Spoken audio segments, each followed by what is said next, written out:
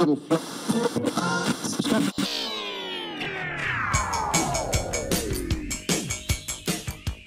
Monday morning, Glads. I'm Cheyenne Gollier. And I'm Isaac Fleet, and this is your KWHS News. College visits for October are winding down, but we also have the November lineup. So jot down these dates and remember, you need a pass to attend these visits during advisory and at lunch. Here's the scoop. Morningside College in Iowa found a last minute spot in their schedule to visit us and will be here on Tuesday, October 23rd during advisory. The Colorado Council on High School and College Relations will be here for a college fair on Wednesday, October 24th from 1 to 2 p.m. The Counseling Center has more details and you do need to register online. On Thursday, October 25th, the reps from the University of Northern Colorado in Greeley will be here during advisory. And closing out the month on October 30th, the reps from Pikes Peak Community College have scheduled their visit with us. Seniors, listen up. If you submit your college applications to Colorado schools on October 30th, they will waive your application fees because it's the inaugural Colorado Free College Application Day. Submit your complete high quality admissions application on October 30th. Keep in mind that each institution will waive fees differently, so plan ahead and read the institution's specific instructions as well as the Colorado Free Application Day FAQs. See Mr. Walker in the Counseling Center for more information. The University of Wyoming Cowboys kick off our November college visits on November 6th. Luther College will be here on November 7th, and the reps from Fort Hays State will be here on November 13th, followed closely by the UCCS reps on November 15th. Plan to spend some time after Thanksgiving with the Adams State Grizzlies, who are scheduled to visit us on November 29th. If you missed any of these dates, check out the Counseling Center calendar or go to their website. Juniors and seniors, the ACT test at WHS is this coming Saturday. But if you did not get yourself registered for this date and you need to take this test, Go to the ACT.org website for other test sites, dates, cost, and registration information. And now we're checking in with Ethan Simon for our Gladiator Sports update.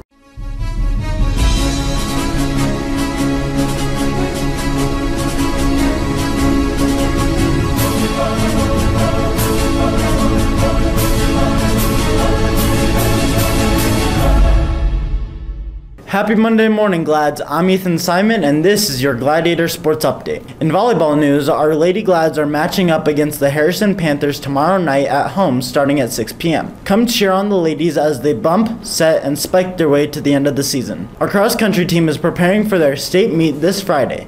Best of luck to them as they run away with some hardware. In football news, our Glads conjured some magic against the Liberty Lancers on Friday and added a W to their season record. Whoosh! Our team is on the road this coming Friday at Pueblo West for a game at 7 p.m. Come out and support your Gladiator football team. Our Mighty Gladiator Marching Band keeps making great music at competition. They earned some great results at the Fountain Fort Carson Friendship Cup over the weekend.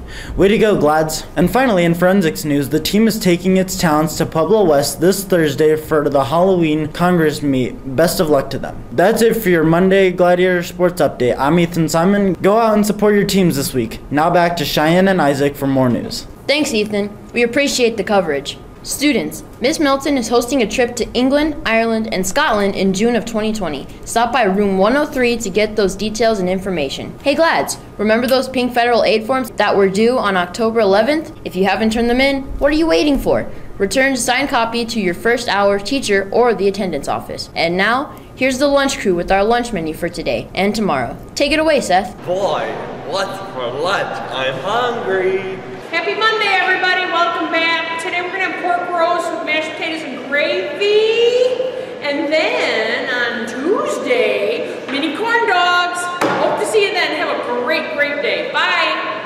Oh, yeah. I can't wait for lunch today. Thanks, Miss Betsy. Students, please pay your lunch charges in person or go online to add money to your account. And if you haven't ordered your yearbook yet, order yours today in the business office or you can go to yearbookforever.com and order online. The cost is $55 until the end of November.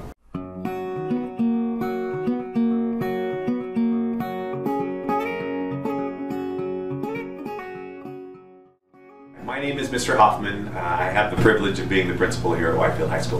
One of the things that was interesting when we got the bond money, there was some money that was designated to go specifically for the auditorium, and it had to go towards that. Yeah, very excited about the auditorium. If you haven't had a chance to see it yet, you know, everything from top to bottom has been changed. So they started the auditorium uh, right after the last day of school. So school ended last year, May 24th, and they started tearing the auditorium apart on May 25th. It's nearly done right now, so we're very excited. It took all summer for them to make the changes. I got a got brand new paint in there. We got brand new seats, brand new lights, brand new sound. The stage was completely redone. We got new curtains. Everything was redone. Uh, it was about $750,000 that was spent on our auditorium to renovate that, which is great. That, that auditorium is 60 years old, and as many of you guys know, the seats were kind of canted down, so some of the seats that you would sit in, you'd kind of slide off onto the floor, so it's wonderful. It's a great space. I couldn't be more happy with it.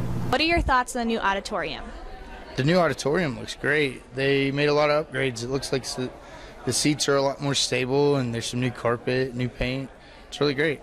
Then every building in the district also got $31,250 that we were allowed to spend however we wanted to spend. What we did at Widefield High School is we put a committee together of staff members, students, and parents, and I got input from people. We ended up doing a lot with it. We ended up getting three more bottle filling stations, so now we have six of them throughout the building. New cafeteria tables, sound system, data projector in there. So we got new picnic table seating for handicap accessible picnic tables. We got the new bleachers. We got new ping pong tables for ninth grade PE and for individual sports. I was most excited about the auditorium. I just, it, it's such a public space. We have all kinds of different district functions that come through there. It will just give people a sense of pride to know that we have facilities and great spaces. I'm really excited for our students to be able to take advantage of it and for our teachers to be able to use the spaces as well. When I first came into the auditorium, I thought it looked really, really nice, and I'm very excited to host our forensics tournaments here so we can show off our new auditorium to schools all over the southern Colorado area.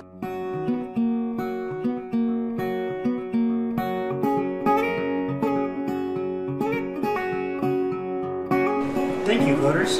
Thank you, board members. Thank you, community. Hi there. I just wanted to take a moment to thank the voters, the community, and Widefield School District 3 board members for my great new tables in the cafeteria and my speakers and my sound system and all the good things that that bond money provided for us here at Widefield High School. Thanks again.